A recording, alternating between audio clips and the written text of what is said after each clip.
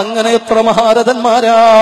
ഇബിലീസിന്റെ കണിവലകളെ തകർത്തെറിഞ്ഞുകൊണ്ടോ അവസാന നിമിഷം മനോഹരമാക്കിയിട്ടുള്ളതോ? അവരിൽപ്പെട്ടവരല്ലേ?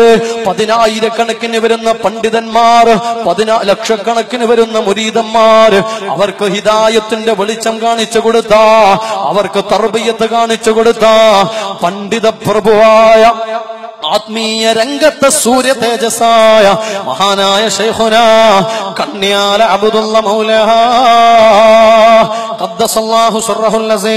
കൂട്ടരെ വിടുവായുധം പറയുകയല്ല? ആ അവസാന നിമിഷം വരെ തിരിച്ചറിഞ്ഞുകൊണ്ട് പോയവരാവരോ?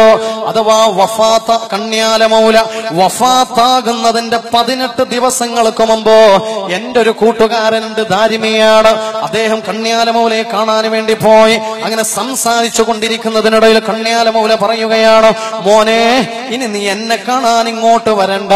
ഇനി വരാൻ തോന്നുന്നുണ്ടെങ്കിലോ? പതിനെട്ടാമത്തെ ദിവസം രാവിലെ വന്നാൽ മതിയെന്നോ? സുബാനല്ലോ ആ പതിനെട്ട് ദിവസം പൂർത്തിയായി.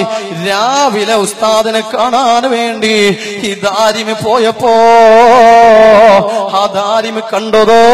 ഉസ്താദിന്റെ മയ്യത്താണ് കണ്യാലമൗല വഫാത്തായി കിടക്കുന്നു. എന്ന് വച്ചാൽ മരിക്കുന്നതിന്റെ പതിനെട്ട് ദിവസങ്ങൾക്ക് മുമ്പ് ഞാൻ ഈ ലോകത്തോട് വിട പറയാനായിട്ടുണ്ട് എന്ന് അകക്കണ്ണുകൊണ്ട് കണ്ടിട്ട് തിരിച്ചറിഞ്ഞിട്ട് തന്റെ ശിഷ്യനോട് മറുപടി പറഞ്ഞിട്ടുണ്ടെങ്കിലോ എന്റെ പ്രിയപ്പെട്ട മോമിനെ ഇത് മനസ്സ് നന്നാക്കിയ ഇബിലീസിനെ പിടിച്ചു കിട്ടിയ മഹാന്മാരുടെ കഥയാണ്. ആ മൗല ഈ ലോകത്തോട് വിട പറയുമ്പോ തന്റെ ചുരുട്ടി വെച്ച കൈയൊക്കെ നിവർത്തി വെച്ചോ ആ കുപ്പായ കൈ നിവർത്തി വെക്കുകയും എന്നിട്ട് തലപ്പാവ് ചുക്കിച്ചുളിഞ്ഞു കിടക്കുന്ന തലപ്പാവ് അതങ്ങ് ഊരിയിട്ട് മനോഹരമായിട്ട് പച്ച തലപ്പാവ് കിട്ടുകയും എന്നിട്ട് നല്ല കുടുക്കൊക്കെ ഈ ഭാഗത്തുള്ള കുടുക്ക് ഇങ്ങനെ ഊരിയിട്ടാ ഉണ്ടായത്.